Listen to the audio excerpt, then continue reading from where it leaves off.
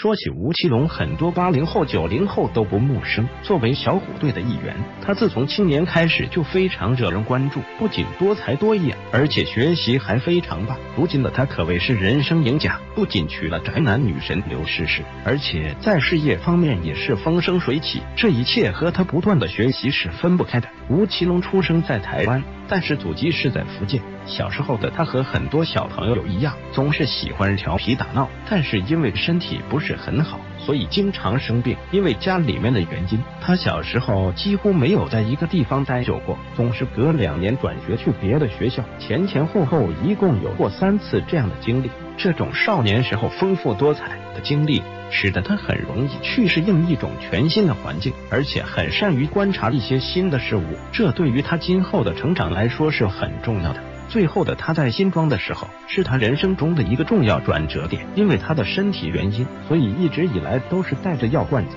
但是自从被学校里面的柔道队老师选中去学习柔道去了，所以不仅身体一直在转好，而且使得他的兴趣越来越广泛。但是他主要的还是在柔道方面。在这上面，他花了很长的时间去攻克很多技术。随着他不断的长大。他的相貌也是不断的变帅，在泰国中时期读书的时候，就因为外貌出众而受到很多的女生喜欢，所以在他的座位上时常是满满当当的各种食物还有早餐。但是他也是很喜欢分享，所以每次女同学送的吃的，他都积极的分享出去。成为小虎队的一员也是偶然，那时候的他想自己经济独立，所以积极的在外面做兼职赚钱。在一次摆地摊的时候，被一个制片人看中。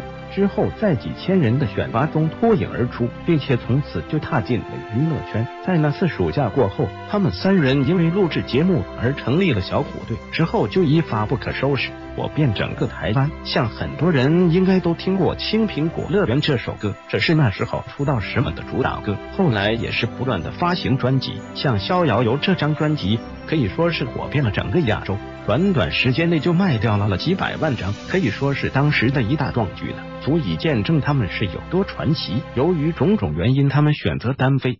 但是单飞时候的他也是不断的努力，发行了很多的个人专辑。对于他来说，音乐只是一个兴趣而已，他的演技才是真正能征服我们的地方。第一次拍戏就出演了电影《逃学外传》，后面紧接住接拍那自己主演的电视剧《新同居时代》。